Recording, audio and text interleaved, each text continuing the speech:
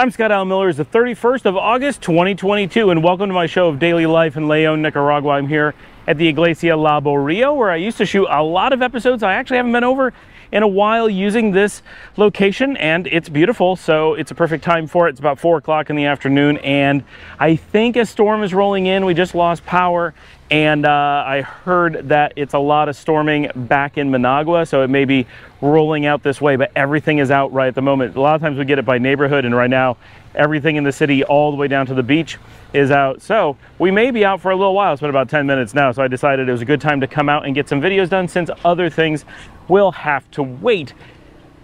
I was sick yesterday. Today I am fine, no problems at all. I did go to bed quite uh, reasonably last night and slept a long time. Uh, clearly, I was short a lot of sleep because I did nap yesterday afternoon, which did not catch me up on a full night's sleep. But after napping and then sleeping a lot tonight, I feel just fine today and did a bit of walking around the neighborhood as well. So, good day for all of that, but really nothing to report. Uh, we uh, just um, home all day. Uh, the kids are very excited about all the fake meat products that Dominica has made uh, yesterday because they have missed that a lot. Uh, so they're eating um, Tofurky and uh, her own Tofurky and fake bologna and hot dogs and all those kinds of things. We actually had hot dogs for dinner tonight. So that was really cool. Um, they're excited about that. And we pretty much just chilled. Lisa and I finished watching um, Arrested Development. I believe that was tonight. It may have been last night definitely finished that. Uh, she is sad that that is done. We did play uh, Sky, so it's an online video game that they like to play. I can't figure out the game. Like it is boring, boring, boring, and I, it's hard for me to play any length of time without falling asleep. Uh, so that one is tough. But it, it's like a really beautiful game. It's got great graphics and stuff, but there's like no gameplay, and I can't figure out what's going on. And pretty much you just like hold a character's hand, they fly you around, and you fall asleep uh, in real life. So I don't know. It's a great way to put yourself to sleep. Um, all right, that is that is my day. Tomorrow will be a little bit more interesting, and this weekend I'm looking forward to. Hopefully everything's still moving forward. That we're heading up to Matagalpa this weekend, which I think will be great because I really want to get that some filming up there for you guys. I have not gone to other cities. I haven't done a new city in a long time. That will be really cool. But today I want to talk about uh, investing specifically in hospitality for expats, for expats or, or, immigrants who are moving into Nicaragua. A lot of you are interested in businesses for really logical reasons, primarily because you are potentially offered a residency through that investment, and tourism, which includes hospitality, is one of the primary allowed paths for that. And it is an area that often makes sense for investors uh, who are expats to, to look at for a lot of reasons, right? There's a lot of logical reasons why all of you and myself included are gravitating towards hospitality. Now, for me, I worked in restaurants starting when I was 16. My family started evaluating buying our own restaurant when I was 13. We did not, but we seriously looked at it. Um, and uh, uh, I ran hotels starting at about 19. Um, and so I managed many hotels in chains, in across a couple different chains, uh, and I uh, worked in a lot of restaurants, including as crew chief and manager over a number of years. So I have a lot of experience in hospitality. Uh, plus, I worked in like medical um, food service and stuff like that, like nursing homes kind of things. Uh, and then Dominica um, has experience uh, working in hotels as well. Also managed hotels. She did boutique hotels. I did chain hotels. She did both. And uh, so that's, we have a bunch of background to that. And it's something we've always wanted to do. And so coming to Nicaragua, we're leveraging kind of a couple different dreams together. That's kind of what led us to that. Plus we kind of just fell into it. For a lot of people, I think um, they're looking at doing their very first forays into hospitality when they come to Nicaragua. And one of the reasons for that is because it is quite accessible. Um, another is that as an expat, you tend to interface with a new country, whatever new country it is, through its hospitality and travel industries. And so just like with anything, right? If you spend a lot of time needing help in school, you're going to gravitate towards wanting to be a teacher. If you um, tend to break your bones a lot because you played a lot of sports in high school, you're going to gravitate towards being a doctor. If things like that, right? Things that you're exposed to because you've interacted with them more than average is going to make you gravitate towards that career or investment path naturally. That's a normal thing. So expats always have a really strong gravitation towards hospitality because as expats, they tend to be more aware of restaurants and hotels and tours and those kinds of things in any country that they're heading to compared to normal. So that's completely logical. It is also that expats have a certain value to the hospitality industry that other people do not. Let's just say you're an expat from Germany, you've moved to Nicaragua, you have the potential to have access to people in the German market, the ability to make websites and advertise and, and work in German, things that the local population are going to struggle to do and a thing that most expats are going to struggle to do. So you have a leg up in that very specific area in hospitality. If you're going to work in manufacturing, having that same uh, value may not exist right? So, so to leverage some of your expatiness uh, when coming to a new country, often hospitality is a place that uniquely allows you to do so. Uh, for those of us who speak English only, it's only so much because there's so many of us that it's not really a unique thing, but it's still, we offer something that the locals do not in many cases. For me, as an English speaking American, my ability to tell other Americans about my businesses and so forth is better than most Nicaraguans have simply because they don't know how to reach them. They don't know where to post. They don't know the language necessarily. There's a lot of barriers for them, not, not insurmountable barriers, but there's more barriers that for me are very convenient to simply move past. I know exactly how an American would stumble on uh, the information about my properties. So I do have an advantage. And so all those things make hospitality a very attractive thing. Plus, when you're often expatting, you're also combining that with some amount of retirement. Um, and so that makes a, when we retire, we tend to like uh, things like pensiones. They're called that for a reason in Europe. That is a type of hotel that is associated with the ownership of someone who has retired. The entire category uh, come, has its name pulled from the name of retirees. So it's universally recognized. People, when you're looking towards retirement, you want to sit on a beach and relax. And often that type of investment is also tied with relaxation.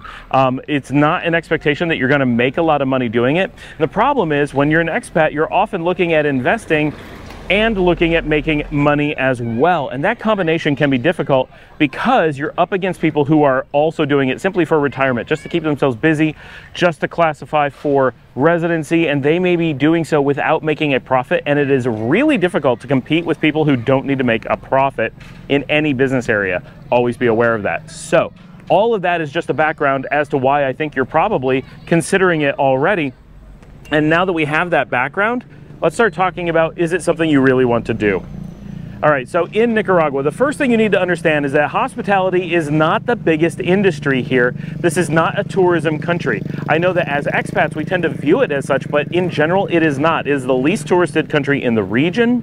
It is coming back a little bit. There was a time period when the country was investing really heavily in tourism and tourism infrastructure and marketing around 2015, 16, 17, and into 18. And at that point, it was really up and coming. There was a huge boom in the industry, uh, and a lot of people remember that. But in the long run, from the 90s, the early 2000s, most of the 2010s, and the last several years, tourism is a backwater industry in Nicaragua. It is not a focus of the government, it is not a focus of the population, it is not a focus of the economy.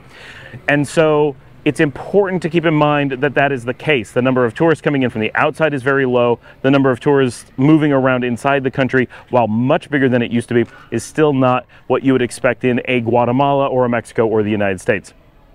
So, just some context there that you may in depending on how you have viewed Nicaragua over the years, you may see it as much more touristy than it actually is today. And it may be much more touristy in the future, but you need to be aware that that is not where they are today and is not where they are headed uh, in any serious way. The country has changed and their investments in their internal infrastructure um, and internet and those things have made them focused on different types of economies than they have in the past. So tourism may not be a giant focus like it was. Again, that lesson may have been learned. That said, the investment in the Pacific Coast Highway, we believe, is moving forward, and hopefully there's going to be some boom from that, but that could be a long way away, and it may be a pipe dream. I've not seen it from any official source, so I don't want to I don't want to quote that in any big way. Also, we've heard the news. I'm going to do a short on this at some point, probably before this goes live, but who knows? We've heard rumors rumors, but they're stronger than the rumors we've heard previously, that the first of the U.S. airlines, specifically American and Spirit, are returning to Managua in November.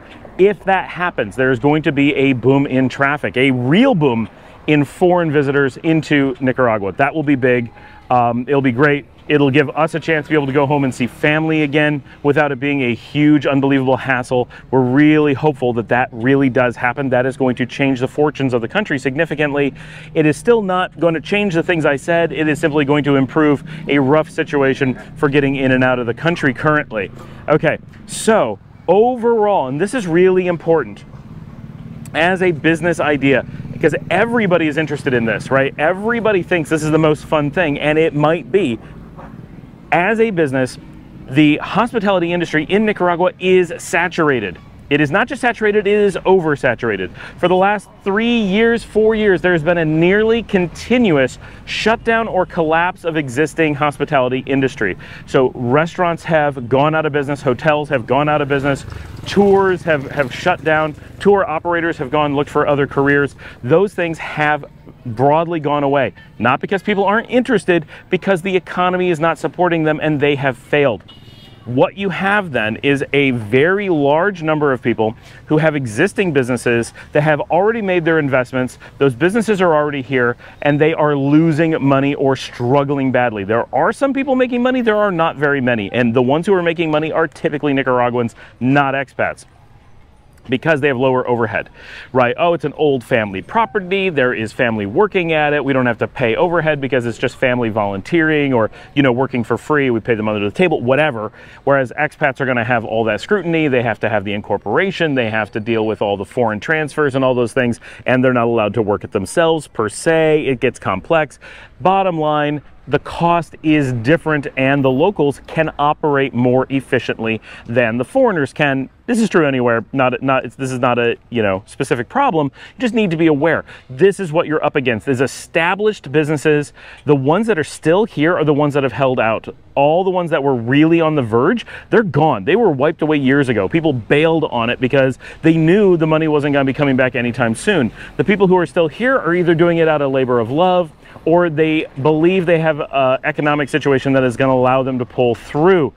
That makes for a really tough situation to get into as a new investor in the space because you're not coming into a space where there is a gap that you might fill. You are coming in to compete directly against established working businesses that are barely able to hang on when they have the entirety of the market any market that you go into, whether you're adding a hotel, an Airbnb, a new restaurant, whatever, you are trying to eke out a, a, little piece of an already very small pie where there may not be enough to go around. So unless you're planning on putting someone else out of business who is already barely making it, there's not much opportunity to actually make money in the foreseeable future. That doesn't mean that won't change. We expect that to change, but that is a long way away. We're talking many years, not many months, right? So of all the things you could invest in, this is one of those with the longest amount of time before you'd be looking at a potential return because you need to do so much investment with the understanding that everybody is losing right now.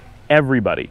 So that's that's really important to understand. It's not like, well, there's this one market, you know, in Granada and they have too many hotels and people aren't making money. No, no, no. This is everywhere, right? Yes, the San Juan del Surs, the Granadas, they're in the worst shape because they had the highest dependency on, on um, tourism and the highest saturation and the biggest investment. And then they had the biggest drop, right? Places like Chinandega are like, eh, not a big deal. We had a couple hotels. Now we have a little bit less hotel, fewer hotels. Um, we had a few restaurants. Now we have fewer restaurants. But in general, they had very little tourism. So the drop in tourism barely impacted them. Yes, but it's still impacted. Everywhere has lost tourists. Just some places have lost a lot and some places have lost a little. So, and you notice that when you go to Chinandega, it feels like barely nothing's happened. You go to San Juan del Sur and it feels like a bomb has gone off, right? It is a, the differences are, are really significant. Um, it, so wherever you're looking, and the problem is the more you look, the more likely you are to look at the worst possible spots. Right? If you were to come in and just throw a dart at Nicaragua, yeah, you'd probably hit an area, first of all, that's just trees, but you'd end up in a spot that may not have a hotel. And yeah, it would be a struggle, but it'd be really cheap to get in and you'd have very little competition. Maybe you could kind of make it work. But if you start doing research and you start saying, what are the big cities? What are the places that people want to go to? What have people heard of? You're going to start looking at the Granadas, the Leones, the, the San Juan del Surs. And when you do that, we're going to start walking because the, the church is blasting us out as always. Um, when you start researching those places, you're going to be automatically pushed through the nature of what people have heard of to the same places that everyone else has invested in. And that's, yes, it's true. That is where the tourists go, but it's also the markets that are so dramatically oversaturated. So when you're looking at those places and you say, well, look, there's a bunch of Airbnbs, I could have an Airbnb there too. Of course, yes, that makes total sense, except all, almost all those Airbnbs are already empty. They're losing money. If you join that pool, you don't add more tourists to it. You only diminish the amount each of you get. So whatever they're losing, you'll be losing that too, but they'll be losing it with an earlier investment that's probably already partially paid for and they have an established clientele and they have an established review system and you don't have those things. So you're gonna be on the back foot making less in most cases than the people who are already there who are already losing. So those situations are very, very tough. You don't want to go into a place that's already saturated, both because it's terrible for you and because it's terrible for the people who've been here trying to hold on all this time and are barely doing so. So you don't want to screw them over either. Not that it business is business, but putting putting hardworking people out of business just because you're willing to lose money to hurt them is not a good method for running a business in the future because people will do the same to you uh, as time goes on. And so that's not something that you, you really want to participate in if you can help it. So that's that's kind of the, the market is tough. Are there opportunities? Of course there are. Are there places where a restaurant that is different and provides something that other people does not have uh, could be beneficial? Of course. Are there people looking to go out to eat? Are there, you know, is there growth? Yes. But it is a very, very difficult market, extremely, extremely hard, and everybody is already doing it. So and people have asked me, well, what if I do this and they and they try to come up with something different, and what if I do it in a really remote? Hey, it's a great idea. You could easily or or with relative ease find a place where there is no real competition. You could find a small village with no restaurant. You could find an open bit of highway. You could find a place that has no Airbnb. That's actually quite easy to find. Big gaps. Even Matagalpa, a major city, we were looking, there's no Airbnb uh, that we would want to use anywhere in the middle of the city. Uh, yeah, way out in the country, yes, but in the city, no, which we're going up for a festival. We want to be right downtown and we had nothing that we can use. Buenas tardes. Uh, and so that was there's a gap right? But can you make money at it? Presumably no. Because if you could, there are so many people who have homes already in Matagalpa that would put them on Airbnb if there was money to be made. Trust me, they know about Airbnb. They know how many tourists are coming through. They've talked to the hotels. They know how not busy they are. Um, and so you're, you're up against a market where people know that not to do the things you're potentially looking at doing. You're not going to invent the wheel by saying, I'm going to put an Airbnb in the middle of nowhere. Trust me, the people in the middle of nowhere have thought of it. They already own the homes. These are the cutest little dogs. We're going to look at these little dogs. They're so little. They're so cute. Um,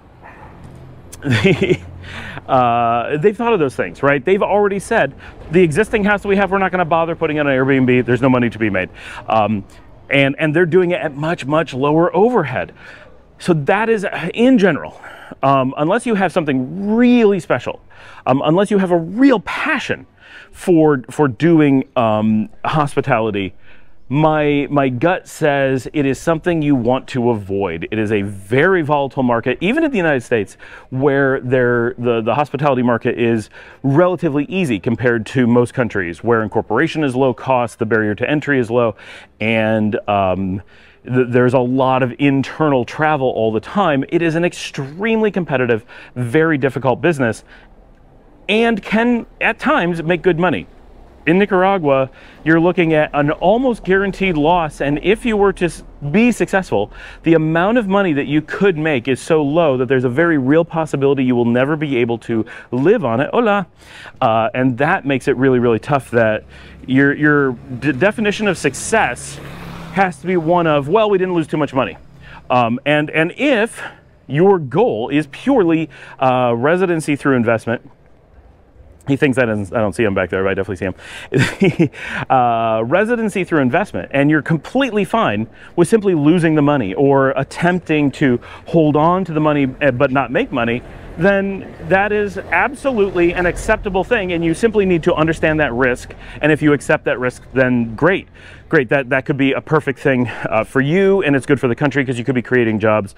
Um, do consider looking for a place where you're not competing with existing businesses because you could put real people out of business, um, people who've been here and put their lives into something, um, and and cause families to starve. So be very careful with creating any new business that competes with an existing one, uh, for sure. But but if that's something you want to do and you're okay with it, then absolutely, right? Go find that unique place. Go find that place that is failing and rescue them. Awesome, right? Do that stuff, employ some people.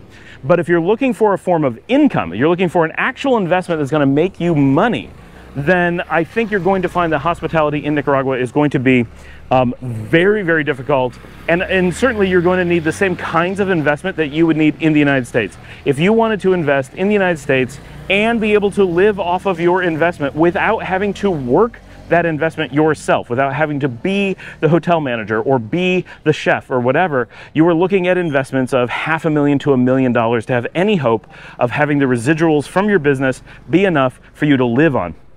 Of course, in Nicaragua, the amount you need to live on is a, is a bit lower, but the the ratio is going to be the same.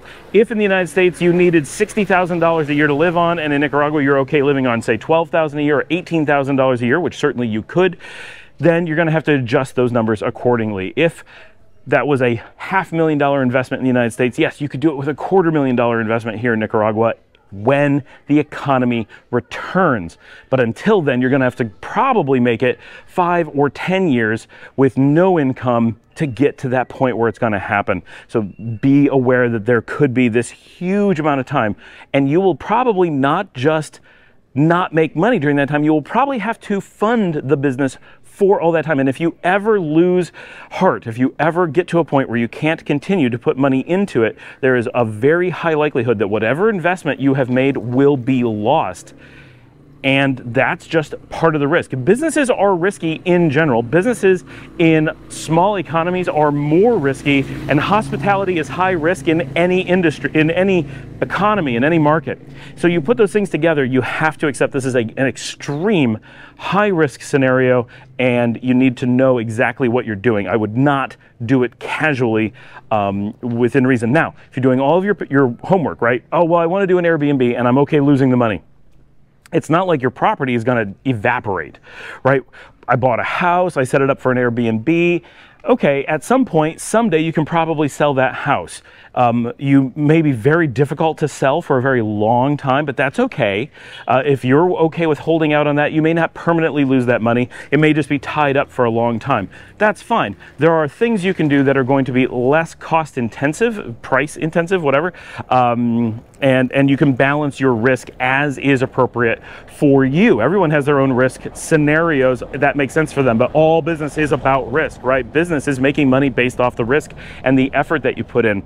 So uh, an Airbnb could be a low risk. A hotel is often a very high risk because essentially you have to stay open and manned 24 7 or you are not a functional hotel and you will simply bleed money. If you close, you will bleed like crazy. And if you stay open, you will bleed like crazy unless you have people in it. So hotels uh, tend to be extremely high risk. Restaurants are similar. You have to have a chef, you have to have a waiter. If you don't, you have no business to try to stay open with, right? This is a really cool house, by the way, on this. Like, I I don't know why I don't know it on the street. I don't normally walk this slowly down the street. Uh, so that's, I hope that gives you a picture, right? Uh, in general, it really comes down to if, if your goal in life is to own a restaurant or to own a hotel in Nicaragua, and that's going to make you happy, the ownership, the getting to, to show off your hotel, have family come visit you in your hotel, go around shaking hands as guests come to the hotel? Absolutely. It could be a low cost and it could qualify for your residency investment um, way to get something you enjoy and that's fantastic. But if your goal is that this is a way to turn a relatively small amount of uh, American retirement capital into a big investment that's going to make you lots of money, it's probably a pipe dream. There's no get rich quick schemes, even in America, let alone in places with smaller economies. There's just nowhere for that money to come from. Uh, so keep that picture. It's, it's not magic but it can be fun. And many of you will point to, I am a hospitality investor here in the country, and that to some degree may be why a lot of people watching this channel are like, well, he's doing it. That makes sense. Maybe I should do it too. Um, but remember, this is something that I've done for many years in the United States. I have a lot of experience in it. I have, this is really important, right? I have existing American businesses and those things fund me. I do not live off of anything in Nicaragua. I have no intention of ever living off of anything in Nicaragua. My personal goals here are to never drain the economy. I do not want to make my personal money from the Nicaraguan economy all of my investments in Nicaragua, now this is a personal thing, right? But all of my investments here are investments in. So it's money coming from the outside. I am putting it into the local economy because I am trying to make a difference. That mentality changes a lot of things. I don't have to make any money here. I'm already paid. I have money to make investments. I am simply investing. I can hold out for a really long time because I have more investment dollars continuing to come from the outside prefer not to have to keep putting money in, but I can if I have to. Um, and when I'm looking at businesses here, this is my home. This is already my home. I am planning on being here for a very, very long time. The fact that I could invest today and wait 10 years to make money doesn't bother me at all. That is perfectly fine. I do want to have my residency investment, so that is a positive for me, but I have other ways I could do that as well. There's lots of options. But for me, the, the value of I've always wanted to own restaurants, I've always wanted to own hotels, those are things I'm willing to buy uh, in the same way that you might buy a new TV, right? So, oh, I want to have this because the hotel is part of my entertainment. I love owning it. Yes, that is, that is fun. Um, in general, not always, but it can be fun. Um, and so it is it is entertainment. And I, I want restaurants and bars because I like to go to them, and I like having access to food that I wouldn't have access to otherwise. All those things, but I am consistently across the board losing money, not insane amounts. But I am not making money on my investments. I don't intend to make money on my investments. I will try my best to make money on my investments. But if I do, I will not be going out shopping with it. I will simply be creating more jobs using that money and trying to grow internal businesses. I don't have any plans to pull from it. Though those factors change things quite a lot. This is a really cute cat. We're gonna come say hi. Look at this cat. Oh, no, nope. He got scared. I was gonna say hi to the cat. And uh, so, so you have to look when you're looking at me and say, well, he seems to be being successful to some degree right? He's happy with his stuff. He's been there for a while. He keeps expanding. Yes, all of that is true. I am expanding by continuing to put in money from the outside. It is basically me buying toys for myself. I am carefully trying to not put myself in a, in a dangerous position where everything could evaporate and, and be gone and have huge losses. But I am in a position where I am regularly putting money in to keep things afloat because we are trying to keep people from losing their jobs. We went in, we bought businesses that were failed or about to fail, right? These are not things that you can just do a slightly better job and suddenly make money. It's not that we can invest and magically by investing they're going to be profitable. That's not at all the situation. We went in knowing very well that people with many, many years of running businesses successfully, of running these kinds of business successfully, of owning other businesses like these, were unable to make money and these were going to fail. And we bought them because we wanted the location. We bought them because maybe we want to use it as a house. We bought it because we want to save people's jobs. All of those things, that's the context. And so if you're going in with that same context, then hospitality may be something that works very well for you. But I have a feeling from talking to a lot of people, I don't think very many people are coming in with that mentality, and nothing wrong with that, right? People are coming in with the mentality, though, of how am I going to pay my bills once I get there? I need a stable income, kind of like a retirement. They're basically looking, in many cases, for something akin to a pension, meaning a set monthly income that comes from their investments. And so if you're going to come in with a half million dollars and put that into hospitality here, the thought is, well, that will then pay me. You know, I have this saved up money. It's going to give me a certain amount of money every month, and I'll be able to live forever in Nicaragua on that money. And that could work out if the numbers are big enough. But I think you would find that the average person coming in with a half million dollars for real, an actual half million dollars pumped into hospitality businesses here, the chances that you'd be able to pay your bills based off of that is very low for now. In 10 years, if you invested that money today and kept investing to keep the doors open for 10 years, I think very high likelihood you would have a good return on your investment someday. But you may have to wait a really long time. If you are over the age of 50, it may be waiting so long that you can't take those risks that it may just be ridiculous, right? So you have to gauge those things. It's hard. It's hard to say, look, look what I'm doing. It's not a good idea. Um, but I have to say that we have to say that to ourselves all the time right? This is something that loses us money. Everything we do loses us money, but we do it because we love it here and we are not just investing in the in financial terms, but we're investing in the country that we love. We're investing in making life better here by creating jobs, giving opportunities, filling in gaps that are missing or were going to occur because a business failed and keeping them from failing. So that is that is our position as to why we're in hospitality here. If my goal was to make money, if I wanted to be a mogul, right? Hospitality in Nicaragua at this time absolutely not the thing to do. That is not a good way to make money here. We're going to talk about how to make money as an expat tomorrow, and uh, you may not like the answer, but I think it's something that people need to hear. Thanks for joining me. Like and subscribe. Ask your questions. Get down below. You can buy me a coffee for all this advice because, you know, I need coffee. And uh, I will see all of you tomorrow.